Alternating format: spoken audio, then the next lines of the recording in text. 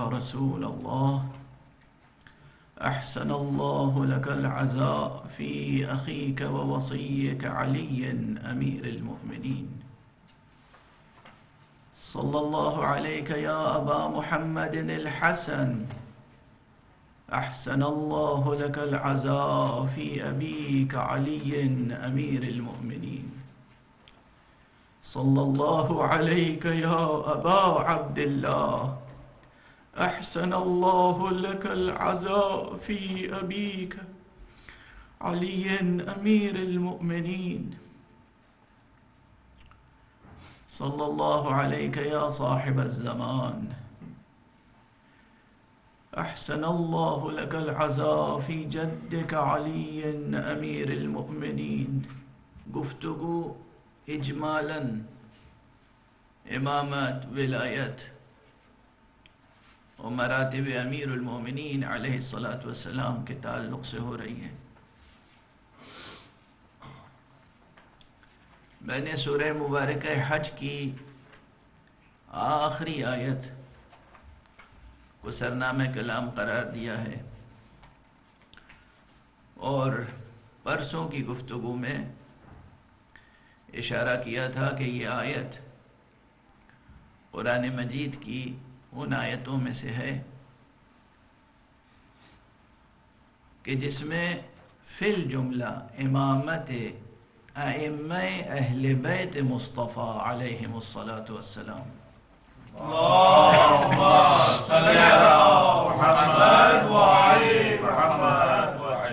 सरकार रिसालत माप के अहल बैत से होने वाले इमामों की इमामत पर खूब रोशनी पड़ती है इस आयत से। और अफसोस है कि हज़रत इस आयत की तरफ़ कम इनायत फरमाते हैं, कम तवज्जो फरमाते हैं।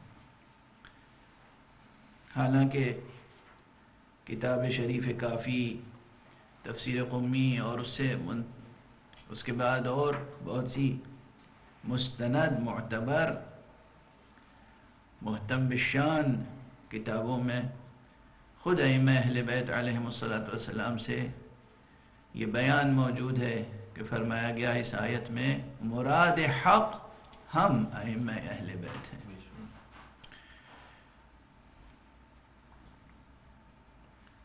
ज़ाहिर है कि सहूलत के पेश नज़र अपनी सेहत के ताल्लुक़ से और आप हजरात के भी वक्त और सहूलत के पेश नज़र में सिर्फ़ आखिरी फ़िक्रा आयत का तिलावत करता रहा और इसलिए भी कि वो जान सुखन उसमें मुजतमा है।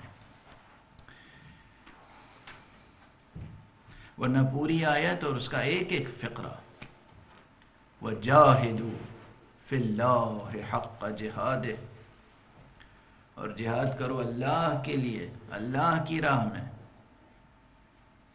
ऐसा जिहाद के जिहाद का हक अदा हो जाए।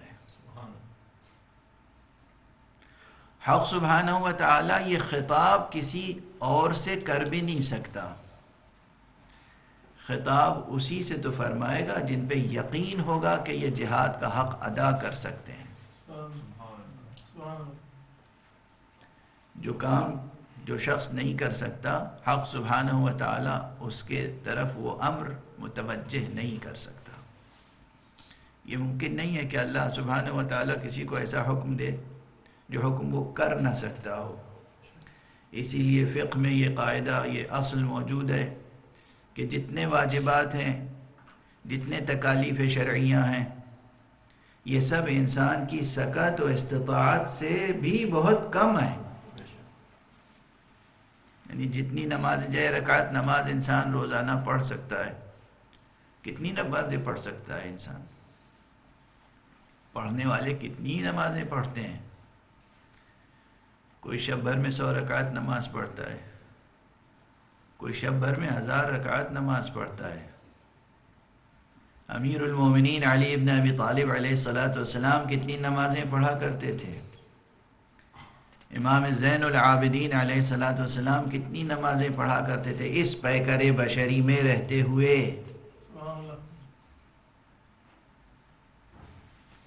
और उनके ग़ुलामों में उनके मवालियों में, उनके शियों में कितने, कितनी नमाजें पढ़ते हैं? लेकिन वाजिब कितनी आए?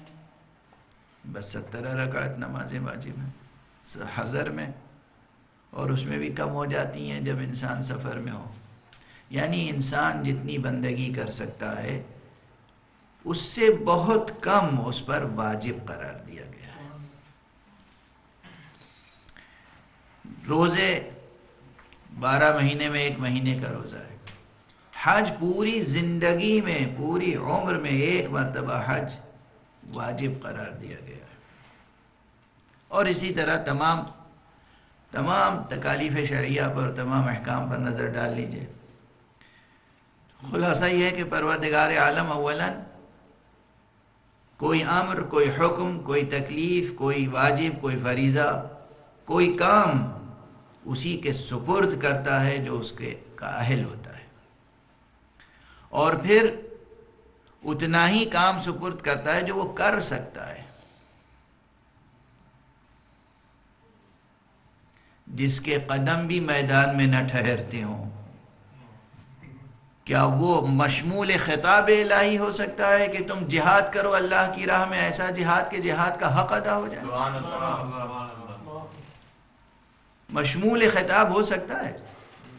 हक सुबहाना हुआ ताला उसकी तरफ़ तवज्जो करके ये बात कह सकता है कि ऐसा जिहाद करो कि जिहाद का हक अदा हो जाए।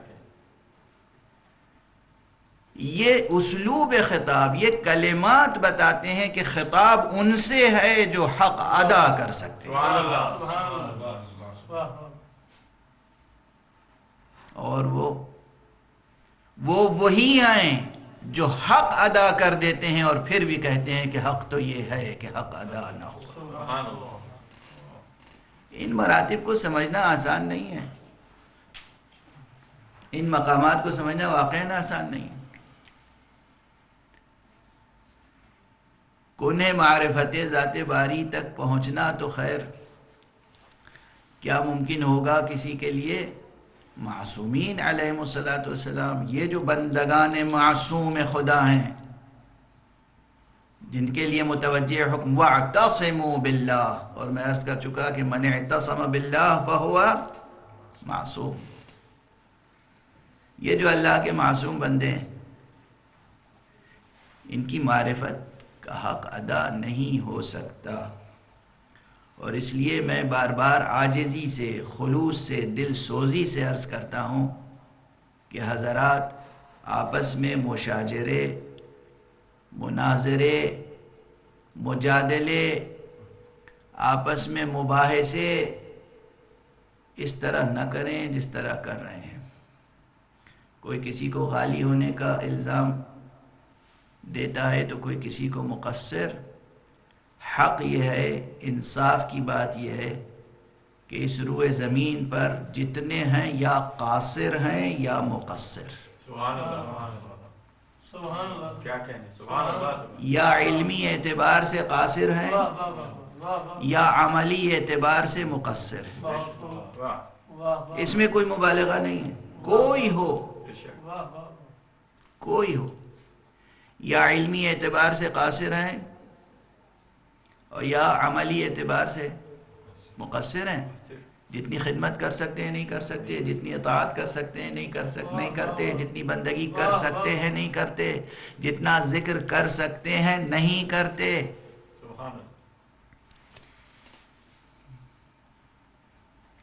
और इसलिए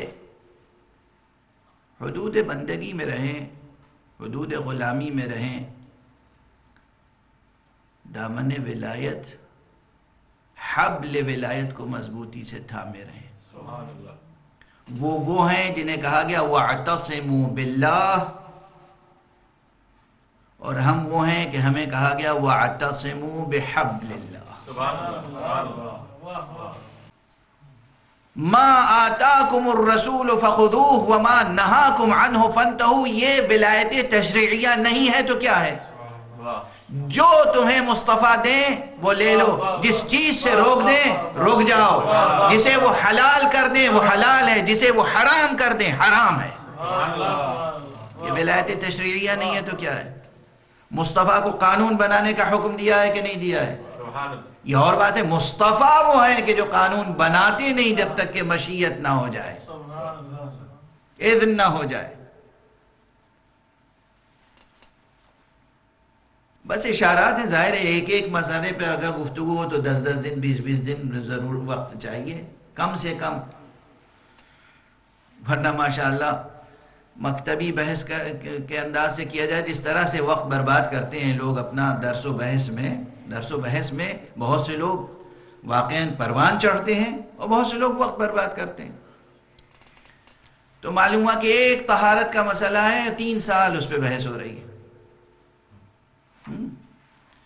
जिन हजरात की तमाम तालीम तहारत से निकाह तक और निकाह से तहारत तक हो, उनसे और क्या तवक्को रखी जा सकती है? किताब तहारत से किताब निकाह तक और किताब निकाह से किताब तहारत तक। बस! सारी ज़िंदगी, पूरी इस्तेदाद, पूरी सलाहियत बदले जुहद पूरी जान निकाल के रख देते हैं किसमें? तहारत से निकाह और निकाह से तहारत में। एक सलावात पढ़ दीजिए मोहम्मद।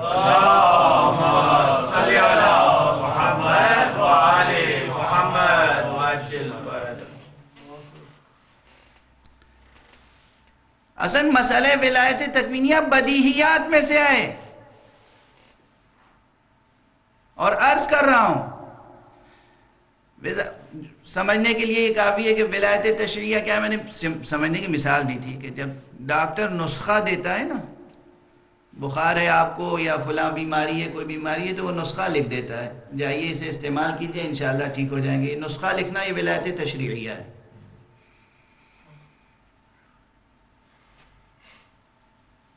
और हज़रत ईसा की तरह मोहम्मद मुस्तफ़ा सल्लल्लाहु अलैहि वसल्लम की तरह अमीर उलमोमिनीन अली इब्न अबी तालिब की तरह मासूमीन की तरह मरीज़ के ऊपर एक इसमें इलाही दम करके शफा अता कर देना सेहत अता कर देना विलायत तकवीनिया है मोहम्मद बुलंदर अल्लाहुम्मा सल्ली अला मुहम्मद व आले मुहम्मद व बस यहाँ मुश्किल हो जाती है। आपने कहा ये शिफा देते हैं शिफा देने वाला तो खुदा है। यानी अगर इन्होंने शिफा दे दी तो उसकी खुदाई महदूद हो गई। अल्लाह अकबर अल्लाह अकबर सुबहान अल्लाह क्या महदूद तंग तारीख। नज़रिए तोहीद लेके बैठे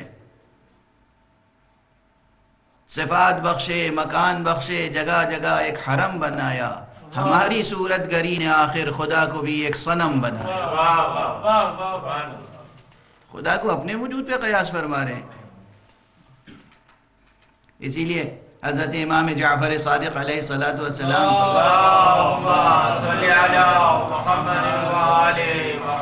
के सामने जब किसी ने तकबीर कही अल्लाह अकबर तो आपने फरमाया यहाँ आओ सुनो अल्लाह अकबर जो तुमने कहा इसके क्या मानी समझते हो?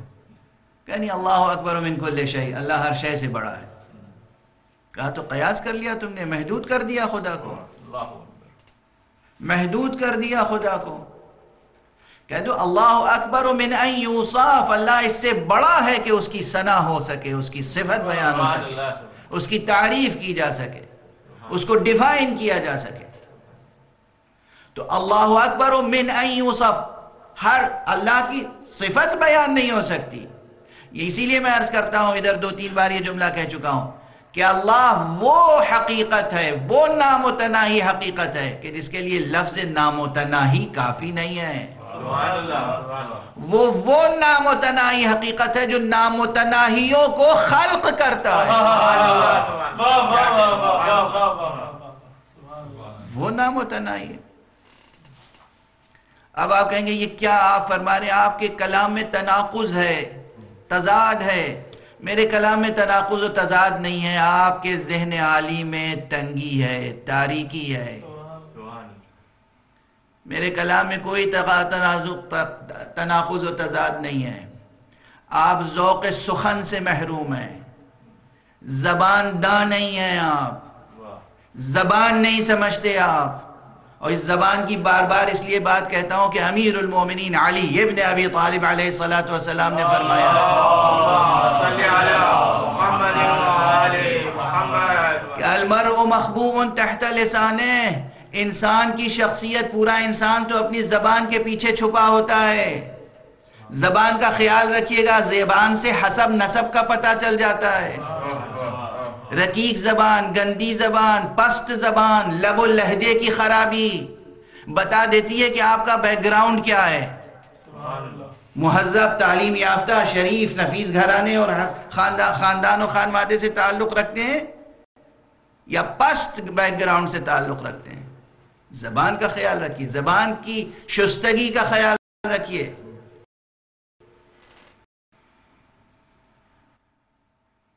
अहल बैत अथार अलैहिस्सलाम इनकी विलायत और तोहीद हक समदी की बातें। बहुत बुलंदी चाहिए इसके लिए, बहुत बुलंदी, नफ्स में, जहन में, कल्ब में। तो मैं आज कर रहा था, जो जुमला आज करना चाहता हूँ, कि विलायत तकवीनिया यह है कि मादा कायनात में तसरुफ की ताकत। मैंने अर्ज़ किया था, दावा नहीं किया था, अर्ज़ किया था आजिजी से।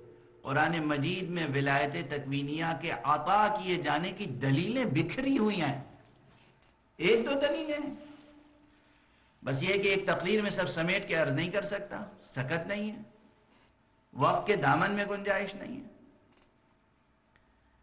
जो फकीर होता है वो अपनी एक एक चीज़ गिन गिन के रखता है बचा बचा के रखता है रखता है समेट समेट के रखता है। जो गनी होता है वो अपनी हर सिफत बांटता रहता है लुटाता रहता है तकसीम करता रहता है। वो खुदा वो कादिर मुतलक गनी अलल इतलाक है। क्या कहने? उसने हमें और आपको कितनी सलाहियतें दी हैं?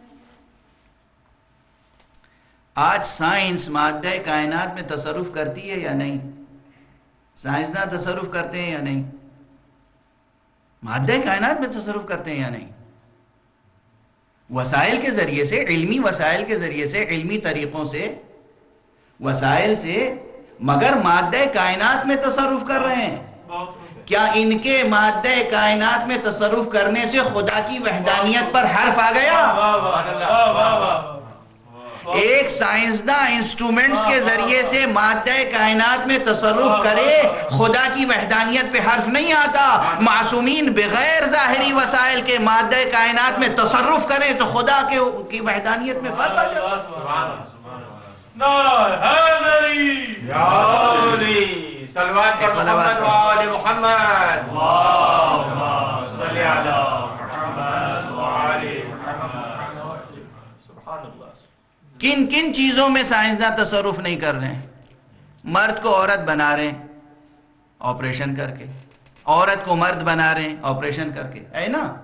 हो रहा है नहीं हो रहा है? ये हो रहा है आज। ये ऑपरेशन करके तसरुफ कर रहे हैं।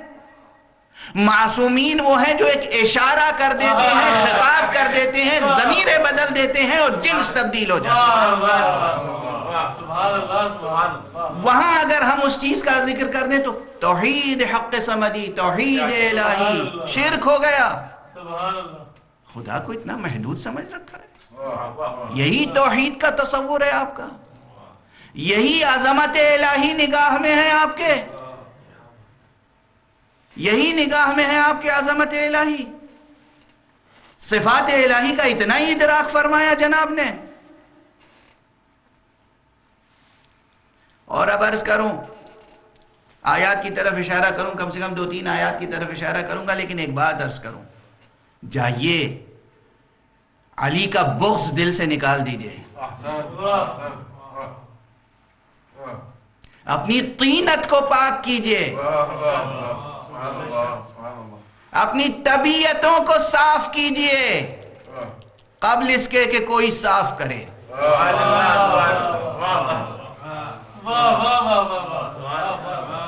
अपनी तीनतों को पाक कीजिए, अपनी तबीयतों को साफ़ कीजिए, अपने जहन को रोशन कीजिए, कल्ब को नूरानी कीजिए, मुताला कीजिए तारीख का, हदीस का, रिवायात का, आयात का। और उसके बाद आप देखेंगे कि सदर इस्लाम से लेकर, यानी असहाब पैगंबर से लेकर आज तक विलायत तकवीनिया का अकीदा और तस्वुर मुतवातिर चला आ रहा है। और विलायत तकवीनिया का कलेमा ये क्वाइन करने की ज़रूरत पड़ इसलिए पड़ी ये टर्मिनोलॉजी कि चूँकि जहालत की बिना पर गफलत की बिना पर विलायत का तस्वुर महदूद करते चले गए तो जो रफा थे उन्होंने उसमें इजाफा किया। और क्या तमाम असलाहें क्या अहद पैगंबर से मुस्तकर हैं फ़िक में? नजिस और मुतनजिस की असलाहें मुस्तकर हैं अहद पैगंबर से? आज तोजीहुल मसाइल में, आज दीनियात की किताबों में, जो मुतनजिस का लफ्ज़ इस्तेमाल होता है नजिस का लफ्ज़ इस्तेमाल होता है मुतनजिस के मरातब का ज़िक्र होता है, ये क्या असलाहें सब दौरे पैगंबर में थी? ये असलाहें तो बाद में वजूद में आई हैं ना? तो क्या असलाहें अगर बाद में वजूद में आई हैं तो ये मफाहिम, ये मानी, ये मुरादात, ये हकायक नहीं थे पहले? थे? ये थे? इसी तरह विलायत का अकीदा अहद पैगंबर से सल्लल्लाहु अलैहि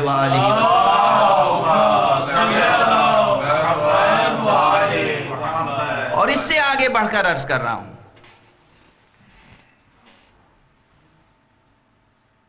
असल विलायत तकवीनिया का मुतालबा फितरत में पोशीदा है। हर दौर में जब भी कोई आया और जिसने कहा, किसी ने कहा कि मैं खुदा की तरफ़ से आया हूँ आवाम ने बरजस्ता कहा, खुदा की तरफ़ से आए हो तो कुछ उसकी दलील दो। दिखाओ, कुछ ऐसा करके दिखाओ कि जो आम तौर पर कोई नहीं कर सकता। यानी मालूम यह कि जो खुदा की तरफ़ से आएगा ओहदा लेकर, वो इख्तियार लेकर आएगा। ये फितरी विजदानी हकीकत है। हर दौर में हर नबी से मुआजा तलब किया गया या नहीं? क्यों तलब किया गया? आम इंसान मुआजा क्यों तलब करता है? इसलिए कि वो ये जानता है फितरत ये कहती है अगर उधर से आया है तो इख्तियार लेके आया सलावाद पढ़ दीजिए मोहम्मद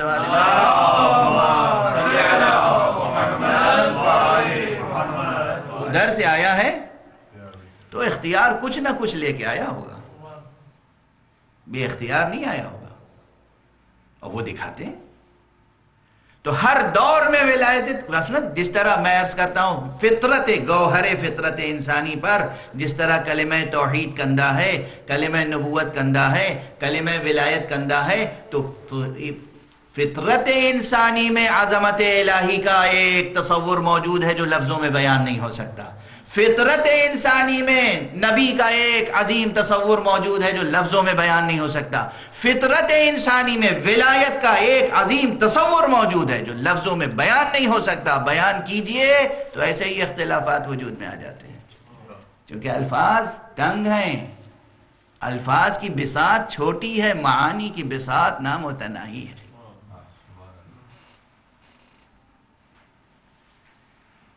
मैं क्या अर्ज़ करूँ?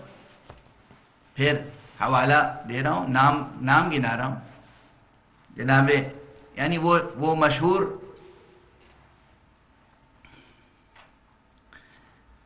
इमाम हुसैन सलाम से खिताब करके एक बहुत नामी, मशहूर, बहुत बुलंद कामत सहाबी का जुमला है ये, जिसने के बार बार कहा है अपनी ज़िंदगी में। कि अली ना होते तो मैं हलाक हो जाता? कहा या हुसैन, या अबा अब्दुल्ला ये जो हमारे सरों पे बाल उगे हुए हैं ना, ये अल्लाह ने उगाए हैं, या अल्लाह के बाद फिर तुमने उगाए हैं?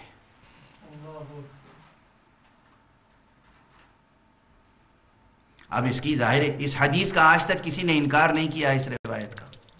न मुखालिफ, न मुआफिक सिर्फ़ तावील की अपने अंदाज से कि नहीं, इससे मुराद विलायत तकविया नहीं है नहीं है, इससे मुराद कुछ और है।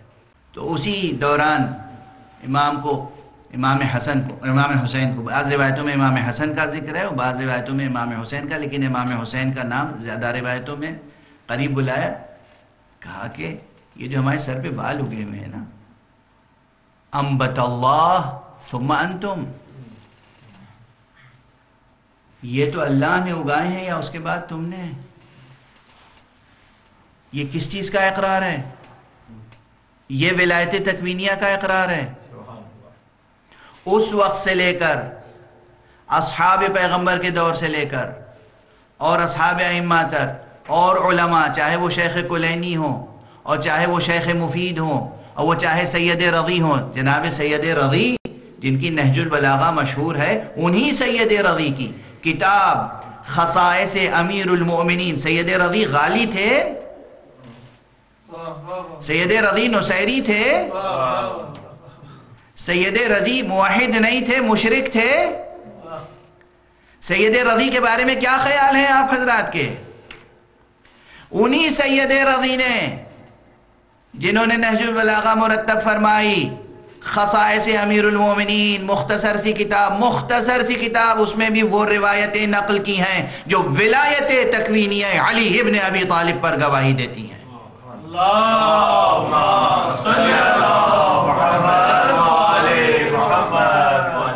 यानी एक शख्स अमीरमिन सलाम के सामने दो शख्स आए बहस करते हुए, लड़ते हुए, झगड़ते हुए, एक मुकदमा लेके आए। उसमें से एक खारिजी था इत्तेफाक से खारिजी उस मुकदमे में उस मामले में भी बातिल पर था। आपने फैसला किया तो जिस तरह रसूलुल्लाह सल्लल्लाहु अलैहि वसल्लम की शान में एक खारिजी गुस्ताखी कर चुका था पहले यानी हुजूर ने फैसला किया और कहा आपने फैसला आदिलाना नहीं किया है। तो हुजूर ने फरमाया वही हक अगर मैं आदिल नहीं करूँगा तो फिर कौन आदिल करेगा? वही वाकयात यहाँ पर पेश आया कि अमीर अमीरमिन सलाम ने फरमाया फैसला किया तो वो मोतरज हुआ मोतरज हुआ। तो अमीरमिन और गुस्ताखाना अंदाज में मोतरज हुआ। तो अमीर अमीरमिन सलाम ने बस इशारा करके वो जुमला कहा जो कुत्ते के लिए कहा जाता है। एक्सा मजमे में बैठा हुआ वो शख्स सियाह कुत्ते में बदल गया। मैं सिर्फ़ इशारा कर रहा हूँ, आधा वाकया, बल्कि आधे से भी कम वाकया पढ़ रहा हूँ। वक्त गुजर चुका। किसने नकल किया ये वाकया? और फिर दोबारा इंसान भी बनाया उसे। दोबारा इंसान भी बनाया। किसने नकल किया ये वाकया? किसी नौसैरी ने? किसने नकल किया ये वाकया? किसी गाली ने? किसी मुशरक ने? आप हजरात की असलाह में जो हजरात जाकिरीन की तोहन करते हैं, किसी मिम्बरी ने, किसी रोज़ा खून ने, किसी जाकिर ने, शरीफ रवी जाम नहजुल बलागा, उन्होंने नकल किया। तो उस वक्त से लेकर शरीफ रदी हों, शरीफ मुर्तज़ा हों, उनके उस्ताद शेख मुफीद हों, उनके शागिर्द हों, और उस वक्त से लेकर सिर्फ़ इमाम खुमैनी विलायत तकवीनिया के कायल नहीं हैं मिसबाहुल फकाह, किताब उठाकर देखें आयतुल्लाहमा सैयद अबुल कासिम खुई, वो भी विलायत तकवीनिया के कायल हैं। एक सलावात पढ़ Mohammad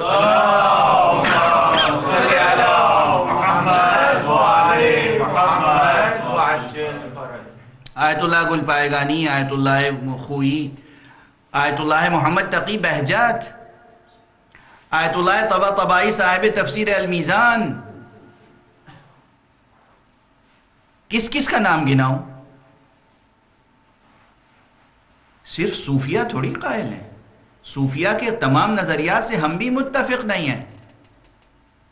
मगर नज़रिए से इख्तिलाफ के बावजूद फ़ौरन किसी की तकफीर नहीं करते।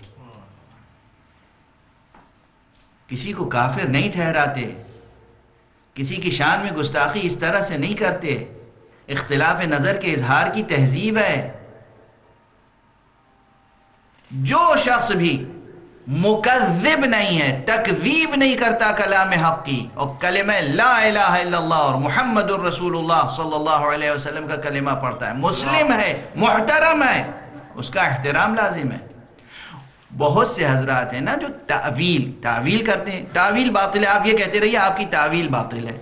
आपकी इस तावील से हम मुत्तफिक नहीं है, आपकी इस तफसीर से हम मुत्तफिक नहीं है। आपकी ये तफसीर बिल्कुल गलत है, ये कहते रहिए। तकफीर करना तंजीज करना तहकीर करना तजलील करना याद रखिए जो दूसरे को जलील करता है वो ये ऐलान करता है कि मैं जलील हूँ।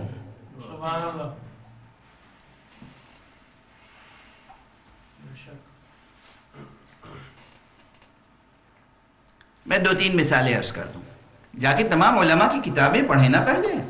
छोटे छोटे इकतबास कहीं से यहाँ से एक लाइन पढ़ ली उनका एक जुमला सुन लिया उस एक जुमले हुए, सुने हुए जुमले पर और इस एक लाइन की पढ़ी हुई इबारत पर फतवा देते हैं लोग। मेरा नज़रिया ये है।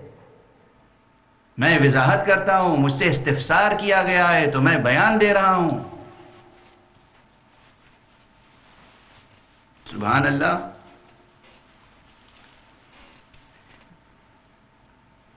अब मैं तीन मकामात से फ़र्ज़ कर दूँ, वक्त गुजर चुका है हालाँकि, तीन मकामात बहुत तेज़ी के साथ।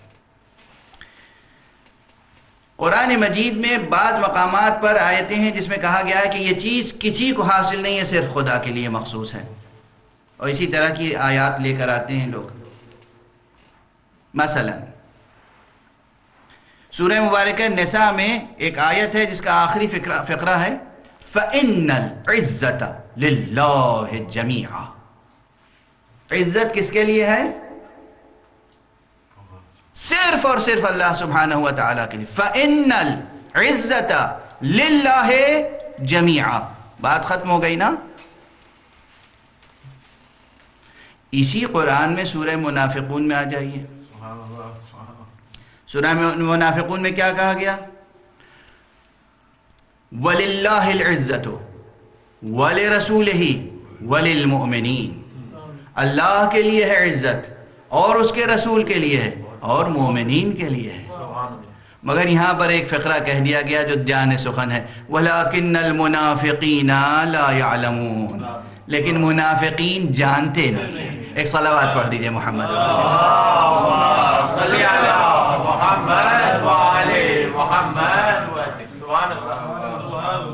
बस इशारात हैं। वक्त बिल्कुल नहीं। गुजर चुका। एक जगह क्या कहा गया?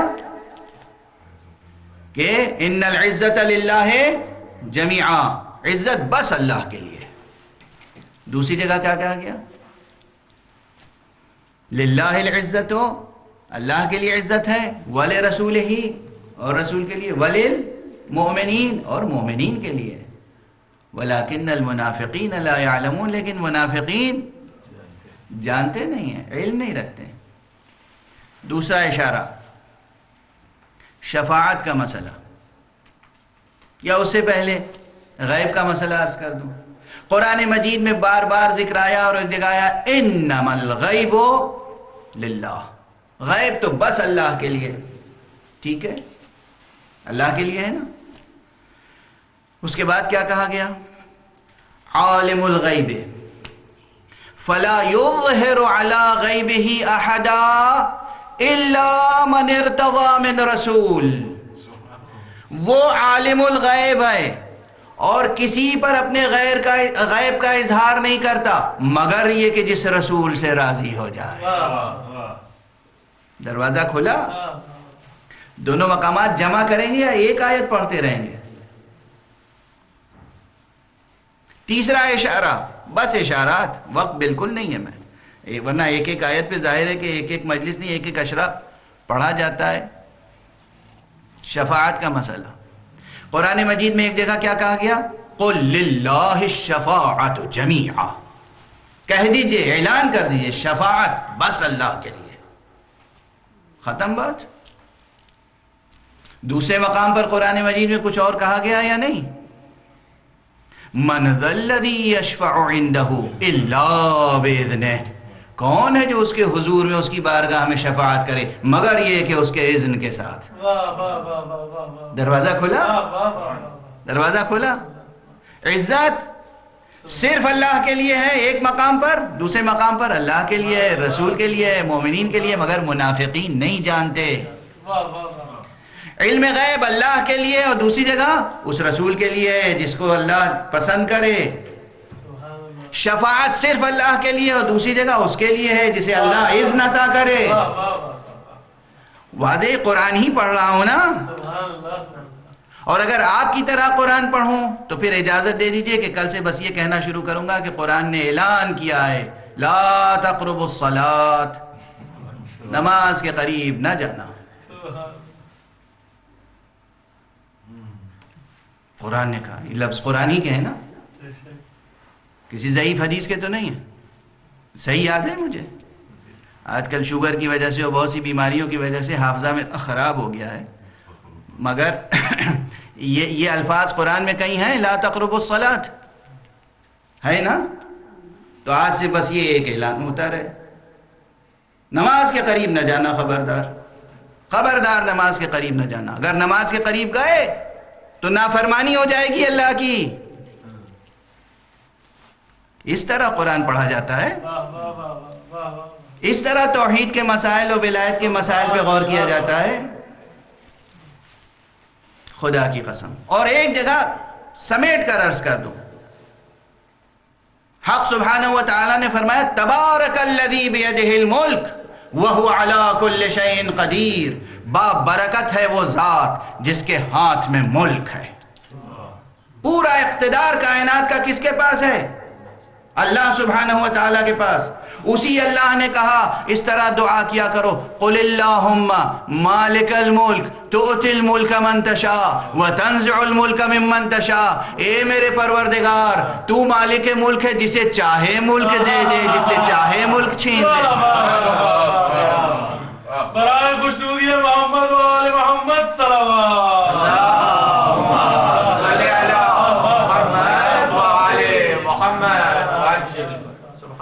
अगर मुस्तफ़ा हाथ उठा के कहेंगे अल्लाहुम्मा मालिकल मुल्क। ए परवरदिगार तू मुल्क का मालिक है जिसे चाहे तो मुल्क दे दे और अल्लाह मुस्तफ़ा को मुल्क दे दे तो शिरक हो गया। महदूद हो गया मुल्क खुदा। बट जाएगा मुल्क खुदा। तकसीम हो जाएगा मुल्क खुदा। मुअत्तल हो जाएगी खुदा की खुदाई। क्या तस्वुर है तौहीद का माशाअल्लाह चश्मे बदूर एक सलावाद पढ़ दीजिए मोहम्मद वाले।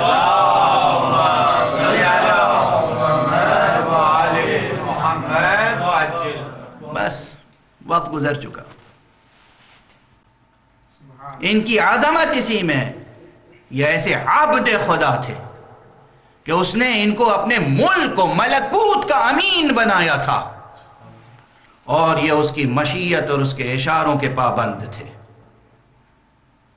जानते थे कि आज कातिल कातिल करेगा। फिर भी मस्जिद में तशरीफ़ ले गए। कहीं मैंने एक जुमला लिखा है खुदा की कसम अली उस शुजा का नाम है। याद रखना अजीजो ये दो जुमले याद रखना। अली उस शुजा का नाम है जिसे कोई किसी मैदान जंग में जेर नहीं कर सकता था। अगर उसके सर पे जरबत लग सकती थी, किसी दुश्मन खुदा की तो बस सजदे के हालत में। मुमकिन नहीं था। और अली उस आबिद का नाम था, जिसे कोई इबादत से रोक नहीं सकता था, चाहे सामने कातिल ही क्यों ना खड़ा हुआ हो। यह है शख्सियत। मालूम है कि यह कातिल है। लेटा हुआ है, उसे जगा रहे हैं। अली वो है जो अपने कातिल को सोते से बेदार करता है। अल्लाह अकबर, बस गुफ्तगु तमाम। आज जी भर के इमाम असर को पुरसा दीजिएगा। आज जी भर के इमाम हसन और इमाम हुसैन को पुरसा दीजिए। आज पुरसा दीजिए तस्वुर कीजिए कि जैनब उम्म कुलसूम की सदाएँ बुलंद हैं। वाह अबता वाह अबता, वाह अलिया, वाह मोहम्मदा। सदाएँ बुलंद हैं। बेचैन है। घर में अमीर उलमोमिनीन के क़यामत बरपा है कल मैंने अर्ज़ किया था, मेहराब मस्जिद से उठाकर, मस्जिद से लाकर बैत शरफ का रुख किया। बैत शरफ में दाखिल हुए और अमीर उलमोमिनीन सलाम जहाँ घर में, जो घर का मुसल्ला था, जहाँ मुस्तकिल नमाज़ पढ़ा करते थे, उस मुसल्ले पे जाकर लेटा दिया गया। अली अपने मुसल्ले पर है। पहले घर वालों ने हल्का किया। खूब गिरिया हुआ। बिलक बिलक के जैनब रोई है। बिलक बिलक के उम्र कुलसूम रोई है। अमीरुल मोमिनीन की बहुत सी बेटियाँ हैं। बहुत से बेटे हैं। बहुत से अज़ीज़ हैं, बहुत से अकरबा हैं बिलक बिलक के रो रहे हैं, घर में क़यामत बरपा है। और उसके बाद इमाम ने सबको सब्र दिलाया, सबको तसल्ली दी, सबको सब्र दिलाया, दिलासा दिया। और कहा ज़रा, जो असहाब है ना, इनसे भी आखिरी मुलाकात कर लेने दो। असहाब दाखिल हुए। असहाब आए एक एक करके जो खवास थे आए आवाम भी आए इमाम को हर शख्स देखता था इस कैफियत में कि आपके पेशानी पर एक जर्द रूमाल लपेट दिया गया था। उस जर्द रूमाल में और रूए मुबारक की रंगत में कोई फ़र्क महसूस नहीं होता। जहर इतना असर कर चुका था कि रूए मुबारक जर्द और रूमाल भी जर्द, दोनों जर्दियों में कोई फ़र्क नहीं कर सकता था। इमाम अमीर उलमोमिनीन इस हालत में भी शफकत के साथ लुत्फ के साथ, दिल सोजी के साथ जज्ब तालीम व तरबियत के साथ लोगों के सवालों को का इस्तकबाल कर रहे हैं। सवाल करने पर तशवीक कर रहे हैं। सलूनी सलूनी जरा उस उस आवाज़ को सुनने की कोशिश कीजिए। एक नहीफ इमाम है। एक जख्म खुर्दा इमाम है। जहर पूरे जिस्म में सरायत कर चुका है। और शफीक है इतना कि उस वक्त भी अपने सहाबियों से, शागिर्दों से कह रहा है, पूछ लो, मुझसे पूछ लो, जो पूछना चाहो। कबल इसके कि मैं तुम्हारे दरमियान न रह जाऊँ। बस इतना ख्याल रखना कि सवालात को मुख्तसर करना, मेरी तकलीफ़ का ख्याल करना। मगर जो पूछना हो, पूछ लो। अल्लाह अकबर। अल्लाह अकबर। अमीरमिन सलाम ने उस वक्त भी फैज़ान इल्मी से मुस्तफ़ीज़ फरमाया है। चश्म कौसर इल्म जारी था। अली वाज कर रहे थे। अली नसीहत कर रहे थे। अली ने फिर उमूमी वसीयतें की हैं। और उस मौके पर भी क्या वसीयतें की हैं? अल्लाह अल्लाह अल्लाह अल्लाह फिसलात देखो, मैं तुम्हें अल्लाह का वास्ता देता हूँ, अल्लाह का वास्ता देता हूँ, नमाज़ को कायम रखना। ये वही अली कह रहा है ना, जिसने नमाज़ को ज़िंदगी भर कायम किया और इस कैफियत के साथ कायम किया, जब फ़र्क मुकद्दस दोपारा हो गया, तब भी हसन को कहा, बेटा, नमाज़ पहले पढ़ा दो। ये अली अल्लाह अल्लाह फिर सलात, अल्लाह अल्लाह फ़ी सियाम रमज़ान देखो, माह बारह के रमज़ान के रोजों का ख्याल रखना। अल्लाह अल्लाह फिर जक़ात। देखो, जक़ात में खियानत ना करना। ज़क़़त फ़ुकरा में तकसीम करना। अल्लाह अल्लाह फिल फ़ुकरा वल मसाकिन। देखो, फ़ुकरा और मसाकिन का ख्याल रखना। अल्लाह अल्लाह फिल ऐताम। देखो, यतीमों का ख्याल।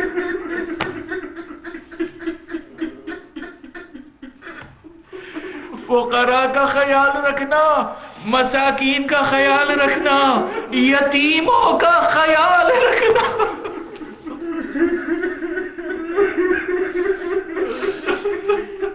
ये वो रिवा ये वो फिक्रे हैं जो सिर्फ़ शिया किताबों में नहीं है मुर्ख तबरी ने लिखा है, दूसरे तमाम मुर्रखी ने लिखा है, ये वसीयत के जुमले बस दस्ते अदब जोड़ के कहूँगा, या अली, आप दुनिया से गए, यतीमों के हक में वसीयतें करते हुए, मगर दुनिया ने यतीमों के ऊपर रहम नहीं खाया, ना आपके यतीमों पर, ना करबला में हुसैन के यतीमों पर। वो हुसैन की यतीम बच्ची जो बाबा बाबा कहती हुई मख्तल में गई और बाबा की लाशे से लपट के गिरिया कर रही थी। उसे किस अंदाज से लाशे से जुदा किया गया है? अरे जालिम ने ताजियाने लगाए, रुखसार पे तमाचे लगाए। गोशे मुबारक से गोशवारे सल्ब कर लिए। अली हैं फरमा रहे अल्लाह अल्लाह फिलैताम तुम्हें तुम्हें वसीयत करता हूँ, खुदारा खुदारा, यतीमों का ख्याल रखना। खुदारा खुदारा, अपने गुलामों कदीज़ों का ख्याल रखना।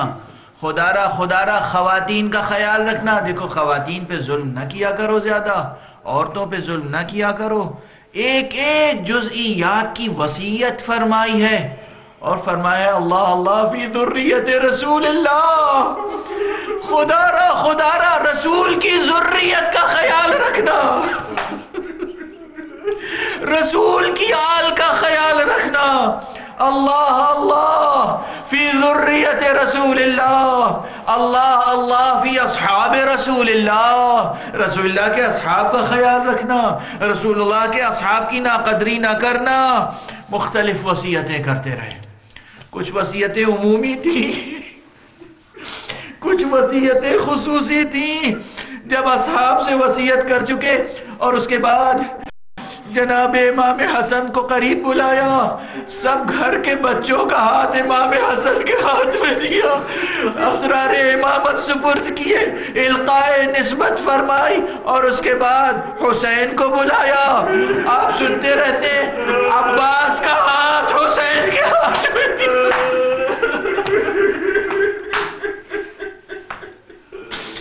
खसूसी वसीयतें जब फरमाई तो कुछ वसीयतें ऐसी भी हैं कि जैनब को बुलाकर अलग वसीयतें फरमाई, अब्बास को बुला के अलग वसीयतें फरमाई। खुद कर्म के आलम में है, खुद कर्म के आलम में है, खुद सर मुबारक शिकाफ्ता है, मगर करबला बयान कर रहे हैं।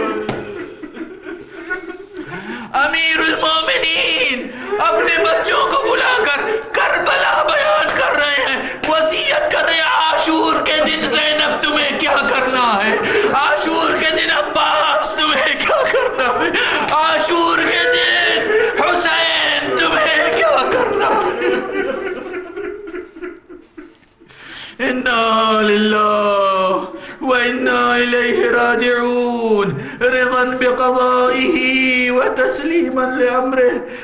मैं नादिम हूँ, शर्मिंदा हूँ। वक्त गुजर गया सकत भी नहीं है, ताकत भी नहीं है। इससे ज़्यादा मसायब नहीं पढ़ सकता। इनशाला आप हजरात नौहा खानी फरमाएँगे। नौहा खानी फरमाएँगे। मातम नौहा खानी में कोताही न हो, आज़ादारी में कोताही न हो, इन मजालिस में कोताही न हो। मैं दुआएँ देता हूँ, मस्जिद जाम सादिक के मोहतमीन और मुंतजमीन को मैं दुआएँ देता हूँ। मस्जिद मरकज़ इमाम अली और मरकज़ बाबुल मुराद लंदन के मुंतजमीन को मैं दुआएँ देता हूँ, हज़रत हजतुलस्लाम वलमसलमिन जनाब, अल्लाह सैदुल्क़दर रजवी को कि इनकी जहर सरपरस्ती, ये इदारा फ़रोग पाए और जहाँ जहाँ भी आज़ादार हैं, परवरदिगार उन्हें अपनी ख़ास हिफ्ज़ अमान में रख। परवरदिगार, हमारे लिए कुरान और मारफ अहल बैत के दरवाजे खोल दे। परवरदिगार पूरी दुनिया में जो इंसानियत बेचैन है, इस इंसानियत की फरियाद रसी फरमा। परवरदिगार, वली आखिर को इसने जहूर अता फरमा और उनके हाथों से अपनी रहमत और राफत और अदालत का परचम लहरा दे